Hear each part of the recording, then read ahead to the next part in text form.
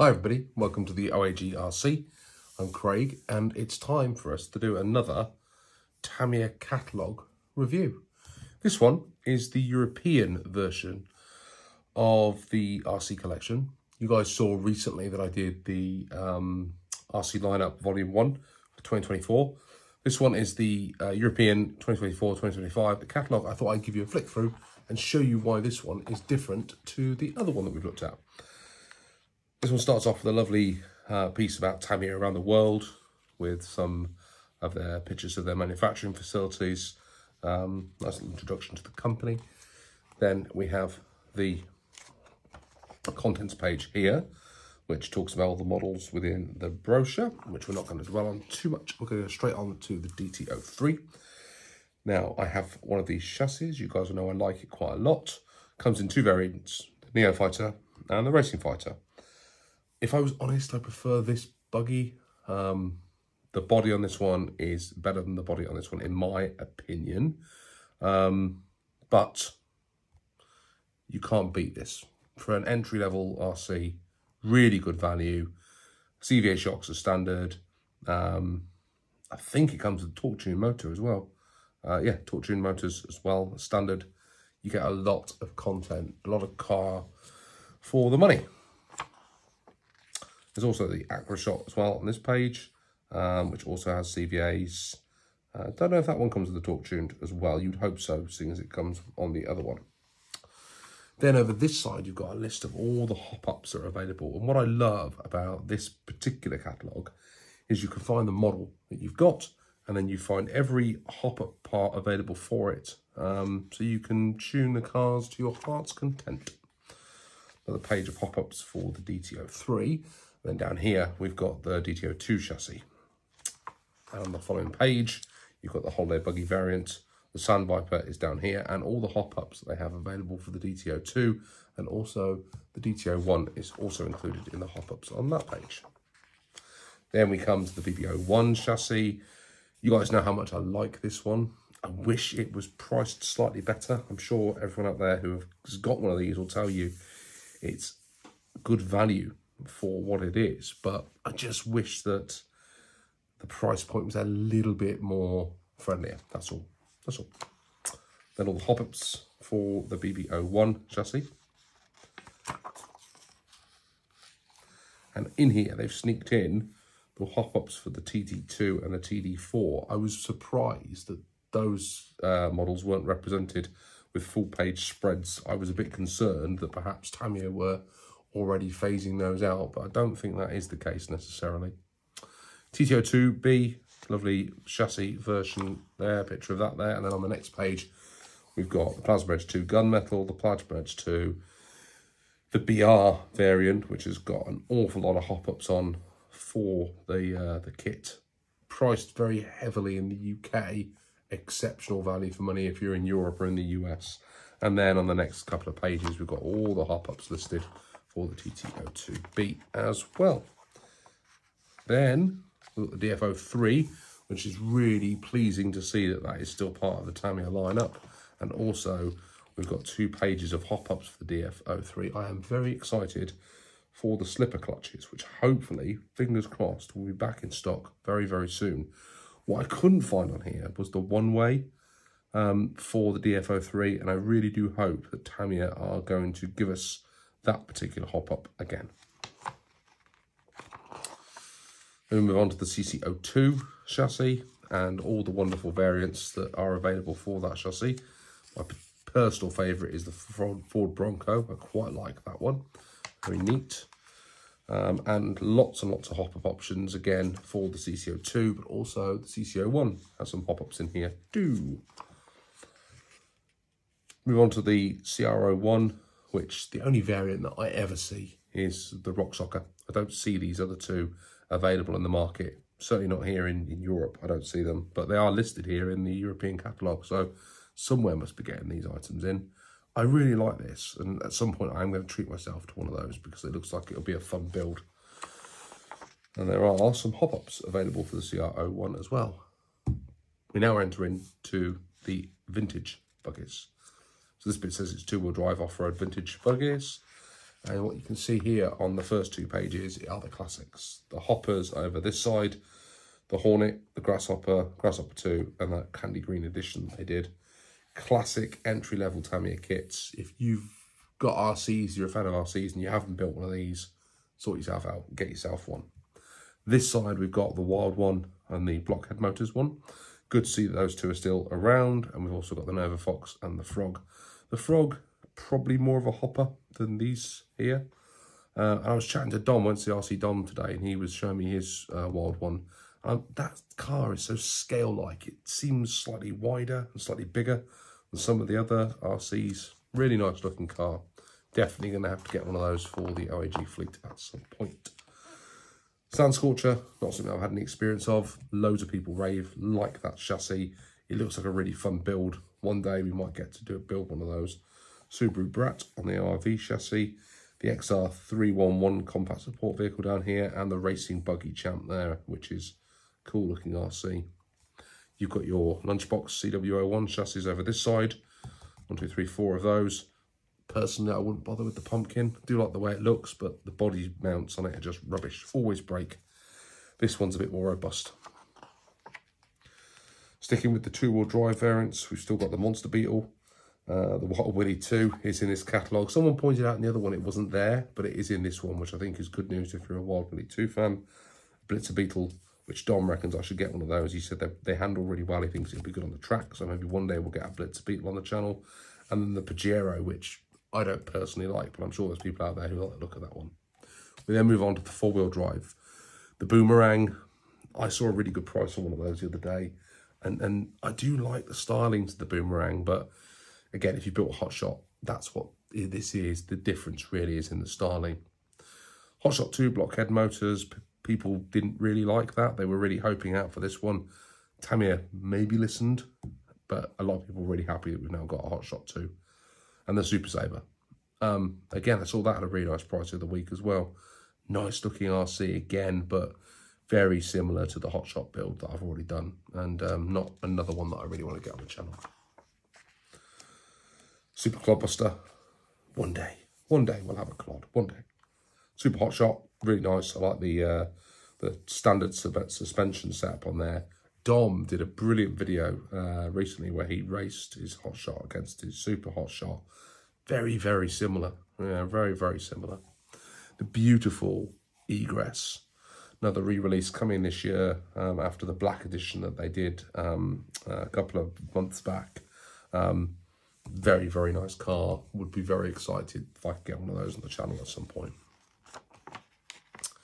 And then we flip over the page and we've got all the spare parts available for various different vintage RCs before we move into the GF02 chassis.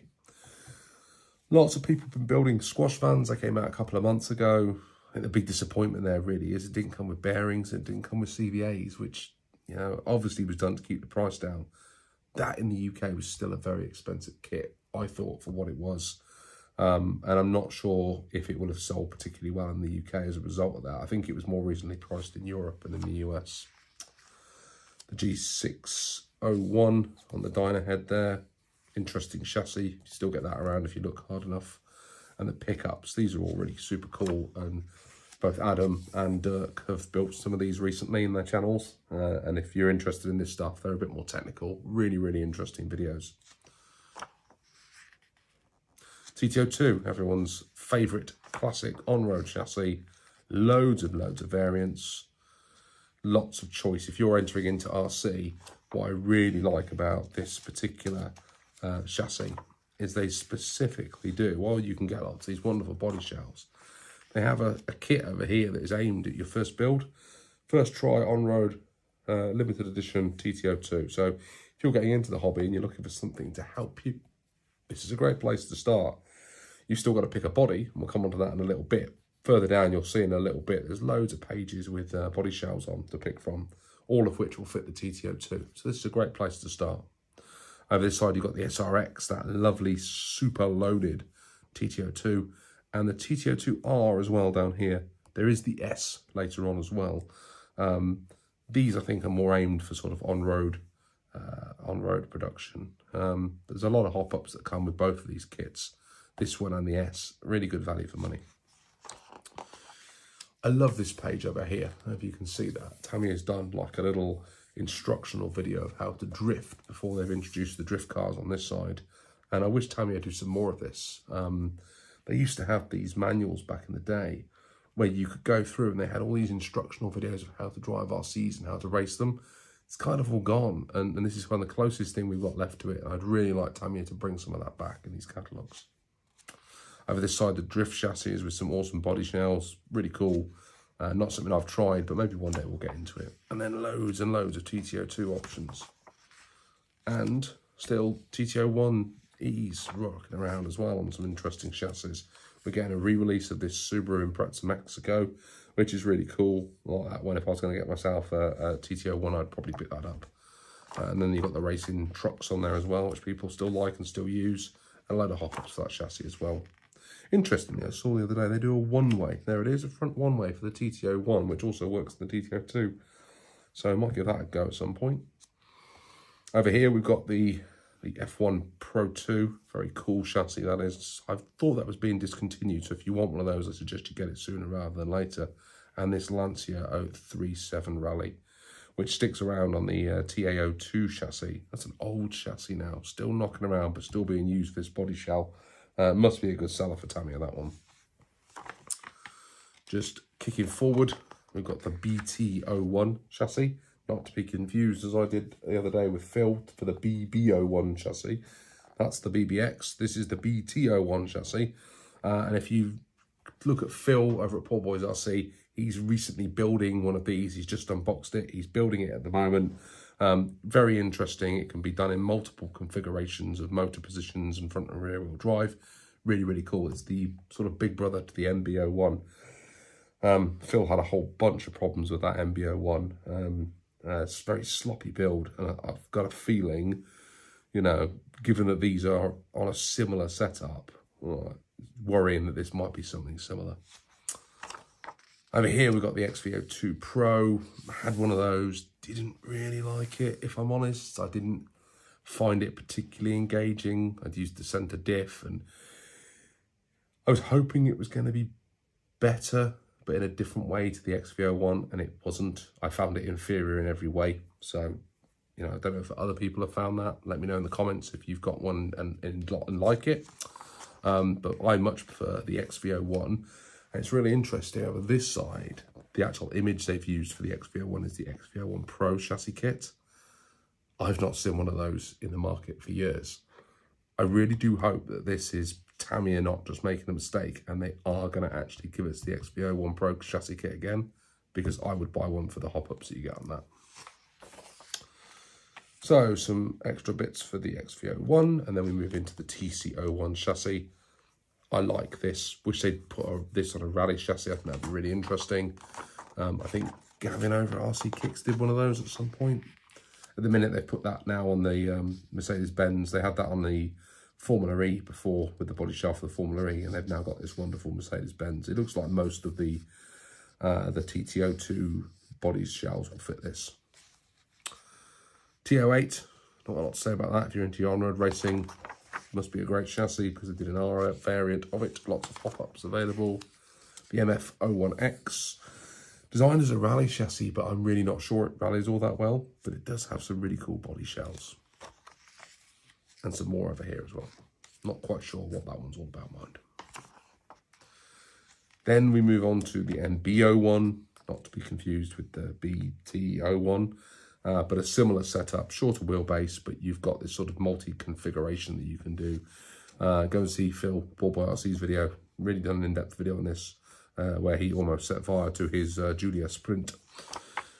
Then we've still got the M07 and I believe the M08 chassis is rocking around over here. Lots of hop-up options for both those chassis.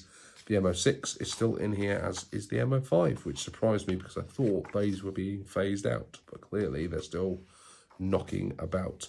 And Tamiya teases us that they still, you know, they used to make racing buggies and the only real one that they've got of any note anymore is not even in here, the TRF.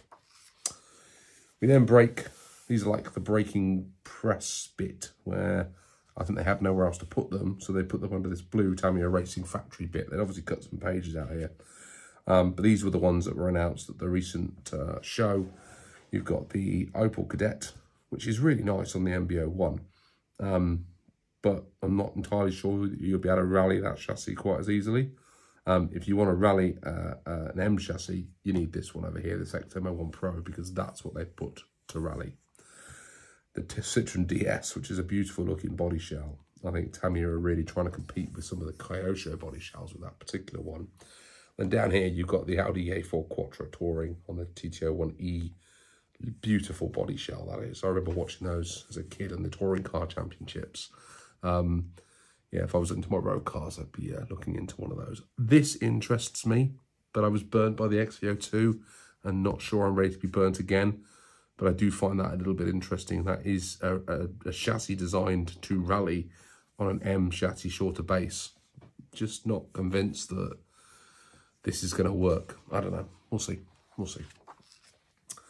I like this Honda NSX body shell. There's that Type S that, you know, I've been told is really good if you're getting trying to rally a, a TT02. This is a really good place to start. Lots of adjustment and suspension. Super Clodbuster Black. If I was going to get a Clodbuster, that'd be the one I'd get in black. It looks cool. And then over here, two re-release buggies. Again, the Top Force is back um, giving people another opportunity to pick that up if they haven't. Um, in the UK, if you're looking for one of these and you're trying to work out whether you get this one or the Evo, I get an Evo because it's not priced much more than this is going to be in the UK and you get a lot more for your money. Um, but this one is phenomenal value. The Manta Ray, if you go looking on some of the UK websites, you can pick this up for 120 to 140 pounds. And I think that's great value of money for, for what this is on the um, the DF01 chassis. It's really good value. And I'm, I'm going to get one of these. I'm looking forward to this. I love the look of the Manta Ray. Always love the look of the Manta Ray. And I'm really looking forward to getting that on the channel. Right, that's the end of the models. But now we're into all the extra bump that you get in this wonderful catalogue. Starting off with, you know, all the different body shells that you can get for your models. And this is what I like about this this catalogue. It starts off, here's all your models, and then it goes through here and says, well, look, here's all the extra stuff you can get. Body shells galore. You've got all the bits of material that you need for sorting out your body shell, the bits of paint and decals and masking tape and lighting kits. Tells you about the motors that Tamiya do, the servos that Tamiya do, all the little bits of extra tie rods that you can get and, and uh, nuts and bolts that Tamiya like to sell us. Here they've got loads of option parts for spacers and washers and bearing sets, spur gears, module pin, pinions, motor mounts, lots of options for your CVAs over here, lots of options for your wheels over here. And this is just beautiful. You can sit, flick through this catalogue looking for the bits and pieces that you need for your models uh, and make a note of them. Go and see if your, your local Tamiya stockist has got them in stock. And then once you get through those pages and you've done your wheels, this is just a list of every single option part in chronological order. Or sorry, in number order. So you can look, flick through, find the parts that you need in order, page upon page upon page of spare parts and hop-ups for your Tamiyas. Then we get to this point and it takes us through the Tamiya paints. You've got your XF paints there, you your acrylics, you've got some lacquers, and then we've come over to the page, we've got primers, we've got TS paints, we've got polycarbonate paints, you've got aircraft model paints, some more polycarbonates, then it comes over here into some more painting. How do you paint? How do you, do you, you distress items with your models or masking tape accessories? Page upon page of wonderful Tamiya products. Paintbrushes, painting accessories, all with loads of descriptions about what it is you're spending your money on as well. And then keep coming on some Tamiya tools, which is always good to see.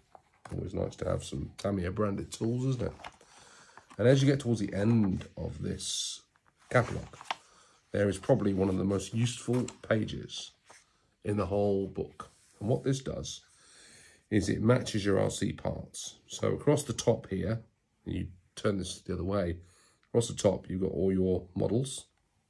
And then down these pages, you've got every single option part. And it tells you which vehicle, which chassis the option part is available for. So this line here with all these dots in is the high torque um, servo saver. And it pretty much goes on every kit, but where there is an asterisk or a hash, tells you what you should be considering as an alternative. And when it's not there, it's saying we don't recommend this particular part for this particular kit. And that's because maybe it hasn't got the right space for it or it's not going to work with that particular model. And there are pages upon pages of all of the Tamiya RCs and what parts work with what kit. Some of them, they just work on one. For others, they work on almost everything. And it really helps you if you've got a particular model, it helps you identify what parts you can use and what model. And that is the Tamiya RC Catalogue 2024-2025. I hope you've enjoyed that. Was a very quick flick through. Um, truth be told, I did this video the other day and unfortunately it got deleted, which was really, really annoying. Um, so I hope I've done it justice and I hope I've captured everything in there. Um, if you are interested in picking one of these up, go to your local hobby store and they'll be able to sell you a copy. Thanks for now. Cheers for watching. See you all soon on the OAG RC. Bye for now.